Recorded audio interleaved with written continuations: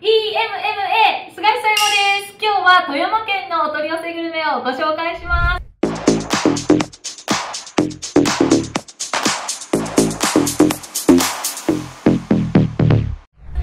富山といえば海の幸です。見てください。すごいいっぱいありますけども。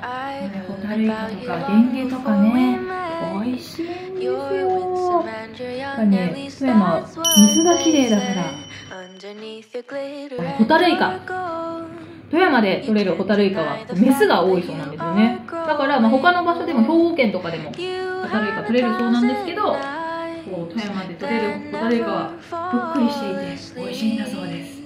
ということでこちらご紹介します。ホタルイカ浜干しですね。ぺっちゃんこになっているわけですけども。あいい香り。出します。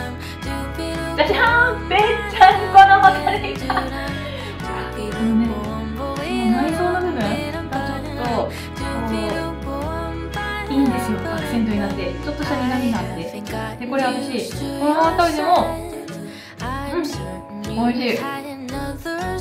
噛めば噛むほどじんわりうまみが出てきてたまらないんですけどこれライターとかちょっと火で炙って食べると香ばしくなってさらに美味しいんですよこれを肉まみにスパイマの美味しいお酒日本酒を飲むと幸せ最高潮ですぜひ皆さんまずはそのまま蒸して炙って違いを試してみてください忘れてはならないのは旨辛昆布味噌昆布なんですけど富山県消費量が全国でナンバーワンなんですよ。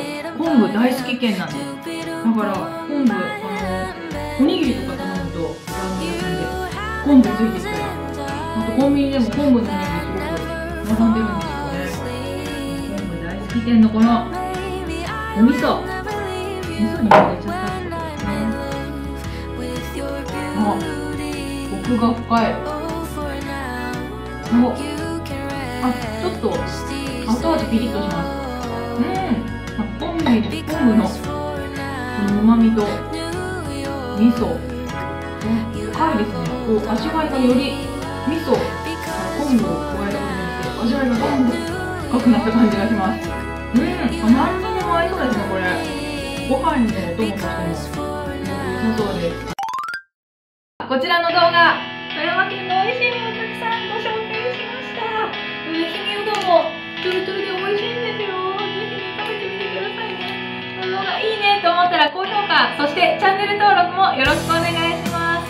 引き続き全国の美味しいものをご紹介していきます。